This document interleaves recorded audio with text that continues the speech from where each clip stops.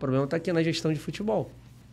E lógico é. que você fala da gestão de futebol, né? Você está numa uma TV de clube, você tem é, é. mais dificuldade às vezes de se manter, né, cara?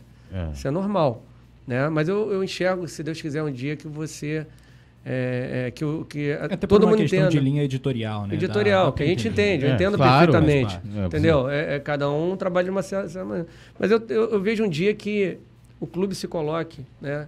Que o jogador entenda que às vezes você uhum. precisa comentar que ah, o Gabigol está mal na partida. Tem que falar que o Gabigol está é. mal. Eu não claro. posso deixar. É porque há maneiras e maneiras de você exatamente, criticar, né? Exatamente. Assim. Entendeu? Por exemplo, nesse jogo do Inter, o Vitinho. Ah, mas jogou... eu tenho certeza que você não passou do ponto. Não, nunca passei, não.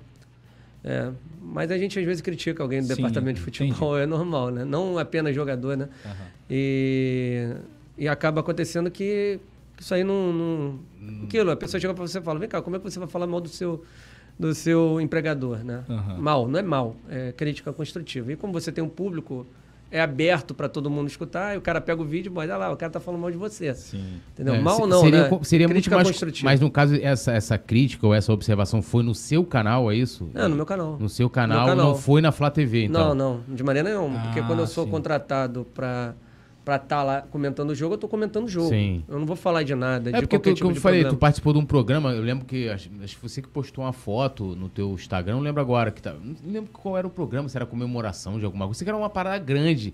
Acho que foi a inauguração do estúdio da Flá TV. Sim, foi um na, dos sorteios. No Ninho, né? Foi um sorteio. E aí eu falei, porra, maneiro, o Deco tá, tá, não, tá tava, agora na, na Flá TV direto. Eu tipo. tava bem lá, eu tava bem lá, mas... Aí depois eu não tive mais. Eu... É, faz parte. Talvez, provavelmente, eu teria que acabar que abrir mão do seu canal. Exatamente. É. Talvez para eles não fosse interessante também, né?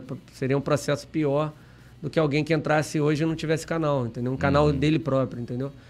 Então, mas eu, eu, entendo perfeitamente, mas ninguém me chegou a falar nada, falando que eu, que eu entraria num programa para trabalhar é, é, semanalmente. Mas não rolou, mas não fico chateado. Me dou bem com todos eles, gosto de todos eles. Mas vamos é. lá, seu grande objetivo é chegar então numa, numa grande emissora, por exemplo, de sim, televisão? Sim, é. Eu gostaria de ter livre-arbítrio de falar o que eu acho que eu tenho que falar, né? Mas uhum. aquilo eu falo, com educação.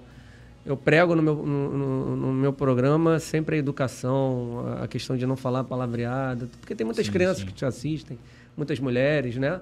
E às vezes é aquilo que a gente conversa aqui, conversou até em off, tem gente que não aceita muita crítica, uhum. né? Porque acha que está é, diminuindo ela. A pessoa não, às vezes o cara tem que pensar e parar e falar assim, pô, será que o cara tem razão? Tudo é a maneira que se fala também, né? Claro, com Porque certeza. às vezes o cara chega de uma maneira incisiva, sendo grosseiro com você, também eu não vou entender. Mas se o cara fala de boa, pô, fulano, pensa bem no que eu tô te falando, cara. Pô, tu pode melhorar isso aqui, aquilo ali. Pô, eu mesmo já melhorei muito. É, eu achava que eu tinha dificuldade de fazer vídeos gravados, eu já estou fazendo vídeos gravados, uhum. para melhora do meu trabalho. O ao vivo é tão melhor, né? É melhor, né, cara? Gravado é Entendeu? Gravado é complicado. Isso é relativo, né? Entendeu? Tipo assim, o ao vivo é Não, lógico. Eu sou do improviso. É porque a gente faz muito ao vivo, né? A gente é, é muito. Já tá acostumado. Já. É, então a gente, pô, e, e, essa coisa de que o, né, essa coisa da pegada do rádio, por exemplo, o rádio você não pode deixar, como é que fala, o, o, o, o furo, né? O silêncio. Então você sempre tá. E você já se exercita nisso. Mas é, quem não tem o costume, às vezes, como você está falando, tipo, você está ali, pô, ah, vou fazer gravado, eu prefiro ao vivo. Mas tem muita gente que tem dificuldade do contrário Sim. e é super também é, é compreensível, né? Tipo assim. eu aprendi uma coisa no gravado. Eu não gosto de ficar editando, não, sério mesmo. Eu prefiro, às vezes, lógico, às vezes tu comete alguma coisa como eu estivesse ao vivo, mas é uma coisa natural, entendeu? Uhum. Quando eu fazia gravado e querer, porra, não posso cometer erro, aí eu ficava uhum. robotizado. Então não era eu. Ah. Entendeu? Então hoje eu já tenho uma facilidade. A galera gosta. Lógico, precisa melhorar algumas coisas, precisa. A pessoa chega para mim e fala: não, faz isso, faz aquilo, melhora aqui, melhora ali. Vou fazer. Não tem problema nenhum. Desde, é aquilo que eu falo para você, desde que o cara saiba colocar para você a uhum. situação uhum. sem impor, querer diminuir a, a sua pessoa, né? Porque às vezes acontece isso. Por isso que quando eu faço as minhas críticas construtivas, né?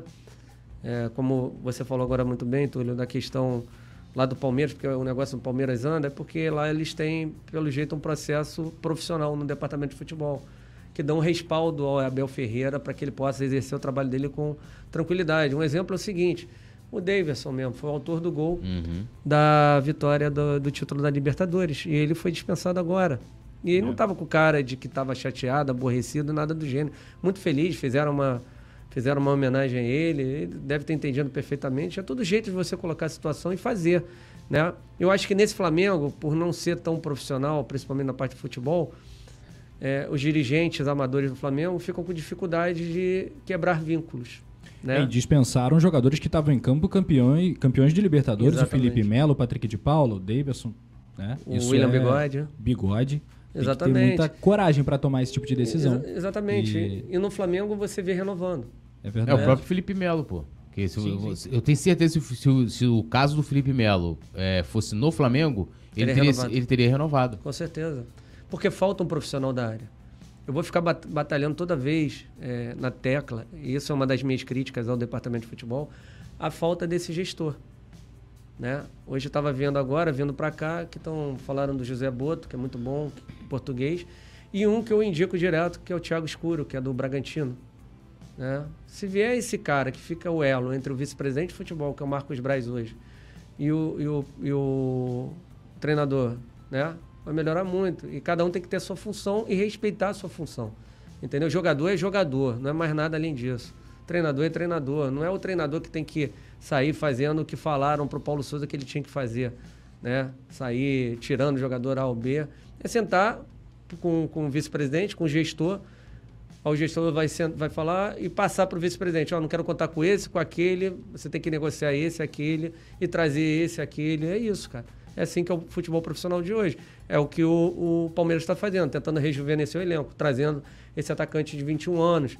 Trouxe o Atuesta também, uhum. que é um jogador é, que veio dos Estados Unidos, também novo. Está trazendo jogadores mais novos, né? Está tentando rejuvenescer o elenco, que é coisa que o Flamengo deveria estar tá fazendo, né? O Flamengo já está com esse elenco há quanto tempo? Tem jogador que está aí desde 2015 no Flamengo. É. Já está na hora de encerrar o ciclo, né? E o Flamengo não consegue fazer isso. É, Isso é uma das minhas sentido, críticas. O grande, a grande sacada do Flamengo foi uma oportunidade também, foi o Ayrton Lucas, né? Que tem Sim. 24 anos. Esse eu acho que chega para ser titular tranquilo ali. E um bom sucessor para o Felipe Luiz. O que, que você acha? É, eu gosto muito. Isso é uma informação hoje que o Bolonha poderia estar interessado nele. Espero que o Flamengo não perca. Meu Deus. Né? É. Não, não perca esse jogador, porque eu acho que vocês vão ver que ele está jogando mais na linha de quatro, segurando o posicionamento ali, né, do que qualquer outra coisa. Não é a característica do Ayrton Lucas o que ele tem de melhor, que você falou muito bem, é a parte ofensiva. É, voltando à questão do lado da criação do, do, do seu canal, né? Você participou do Urubucan, você, você partiu para carreira solo, tipo, a gente era um grupo e foi para carreira solo e tal. É, você se considera jornalista? É, é, é assim, é, você tem a Sérgio e tal, papapá, você vai no Maracanã, você cobre jogos, você é um setorista do Flamengo do seu canal. Sim, hoje, hoje eu me considero sim. São oito anos trabalhando com isso. Né? É o que eu falo às vezes. É, tem um ou outro que gosta de diminuir. Ah, porque o cara não é jornalista. Mas eu tô mais embasado que muito jornalista para falar de futebol, porque eu sou formado em educação física. Né? Sim. Eu sou formado em educação física, eu fiz matéria de futebol, fiz pós-graduação de futebol, tem livro de futebol, tem monografia de futebol, tem curso de treinador de futebol, trabalhei na Chapecoense. Enfim, então eu tenho know-how, né? E trabalho com comunicação há mais de oito, nove anos. É, é oito anos. você está associado, credenciado, acho Sim, que. Sim, exatamente. Então, com certeza você é. é eu. 280 mil inscritos, parceiro. É. São que três maracanãs lotados. É, é. o Deco tá, tá, tá lotando tudo. É ah, eu esqueci de responder para vocês sobre o, o, o, Ronaldo, né?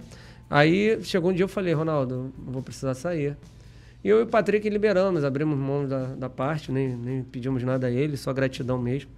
Né? E ele entendeu perfeitamente. E falei para ele, prometi, falei, Ronaldo, uma coisa você pode ter certeza. Duas coisas.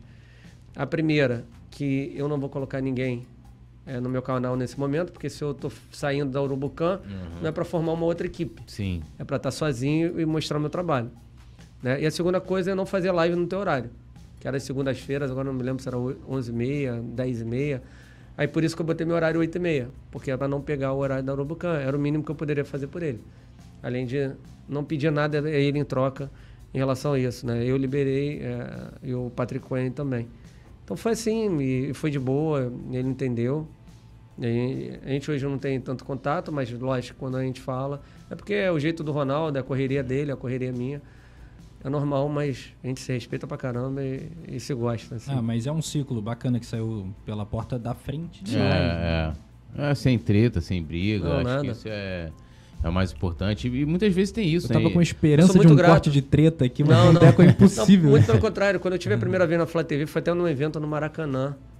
Até tava, não sei se era a Júlia, Aí elas fizeram uma entrevista e eu agradeci a oportunidade. Se eu estava lá naquele momento ali, era porque eu comecei ali na Urubucã. Sim. Tu tem um começo, né, cara? Claro. E o começo foi na Urubucã, então a gratidão tem que ser eterna. É, é, para mim, é a característica que eu tenho de melhor é ser grato às pessoas que me ajudam sempre, entendeu? Daqui é, a pouco Sport TV e ESPN. É. Não, como diz o ditado, né? Gratidão não prescreve, né? Não, exatamente. É,